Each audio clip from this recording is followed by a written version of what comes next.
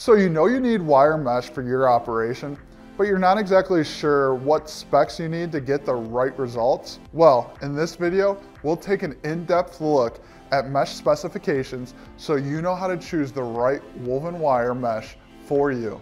Stick around. Hi, my name is Eric Himes and I'm the sales manager for Industrial Woven Wire here at WS Tyler. And I'm here to ask you the question, how do I find the mesh specification that works best for my process? With 150 years of woven wire experience, WS Tyler is here to help.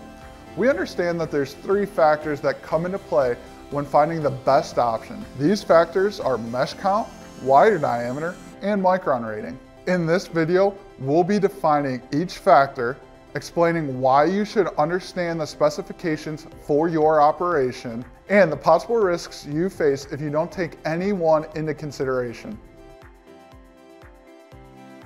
Wire mesh is generally described by its mesh count.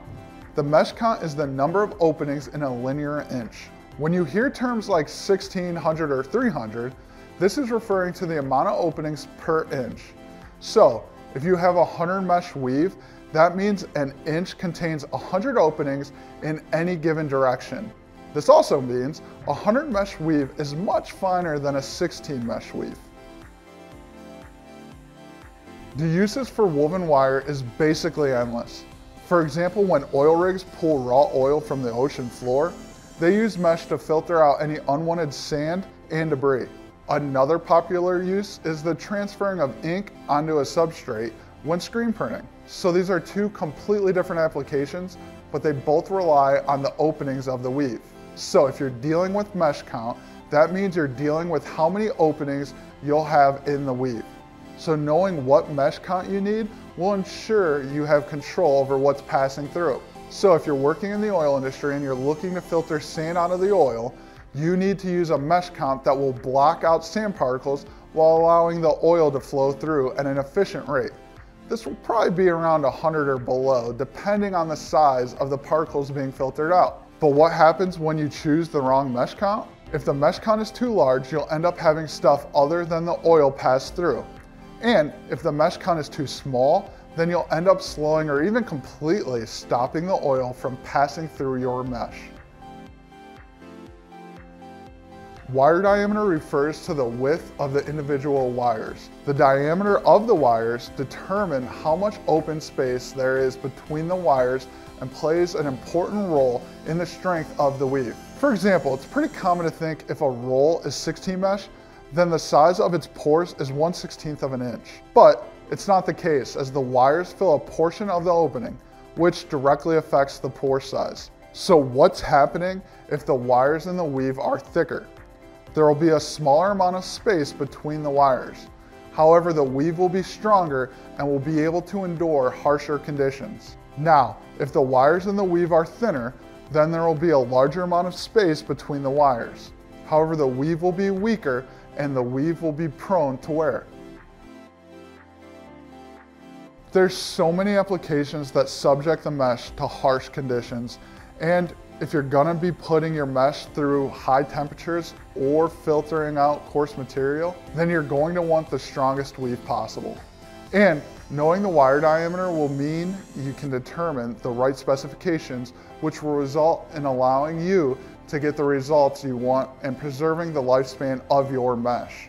But I should definitely say you don't want a wire that's too thick. Let's say if you're working with coarse aggregates, if you use a wire diameter that's too thin, you run the risk of destroying your mesh, putting your other equipment at risk. Now, let's say you switch gears and begin working with fine sand. Using a wire diameter that's too thick may make the openings too small and directly affect the micron rating. The micron rating is most easily explained as the exact distance between the wires in the weave. In other words, the micron rating is the negative space in between the wires. To give you some perspective, one micron is one one thousandth of a millimeter. One of the more popular applications woven wire is used for is filtration. Whether you're filtering out sand during the fracking process or debris when recycling plastic, you need to be aware of two things, the opening count and opening size. Once you know both, you can then pinpoint what micron rating you need. So knowing the proper micron rating will mean you have more control over the flow rate of what's being filtered. But failure to use the correct micron rating can lead to blinding, which occurs when particles get stuck in the weave openings and hinder the flow rate. All this really depends on what you're filtering and the amount of waste buildup the mesh will be subject to. So, to sum it up, using the correct micron rating will ensure impurities get filtered out of the desired final product while maintaining a sufficient flow. This will promote an operation that is both energy efficient and cost effective. Thanks so much for watching. If you have any questions, fill out a contact us form so we can answer your specific questions. Just click the link in the description. And if you'd like to learn more about woven wire mesh or our many products, we have a learning center filled with written and video content to help make you an expert. Just click that second link and you'll be an expert in no time. And don't forget to click the subscribe button and ring that bell to keep up with all things WS Tyler. Once again, my name is Eric Himes and I'll see you around in the next video. Bye for now.